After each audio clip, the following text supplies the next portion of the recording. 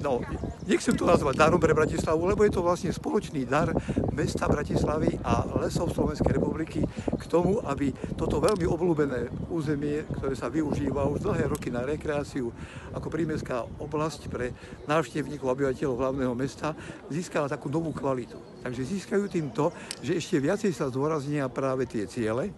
tie nedrevoprodukčné, tie rekreačné a pribudnú tu prvky, ktoré umožnia viacej využívať hovoríme o chodníkoch, hovoríme o informačných tabuliach, hovoríme o altánkoch, hovoríme o primeraných ohniskách, ale aj hovoríme o tom, čo možno tak prezradím dopredu, chceme ukázať aj v tomto prostredí, aký je význam nielen lesa, hodnota lesa, ale aj význam lesníkovej práce pre ne, lebo na to sa niekedy